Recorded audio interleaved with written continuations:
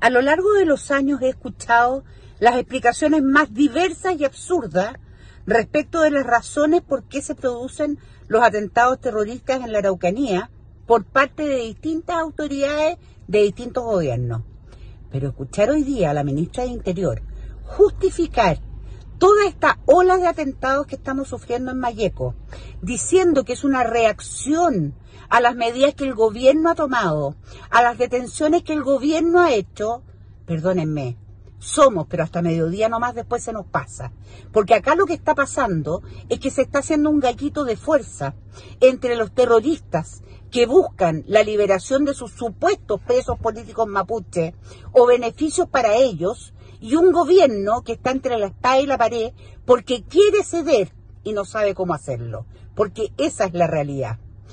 En Coyipulli, en la región más golpeada por el terrorismo, en la ciudad, una de las ciudades más golpeadas por atentados, donde la ministra ha tenido la patudez de decir que los delitos no son de tan alta connotación, por lo tanto no ameritan un cuartel especial de la PDI acá,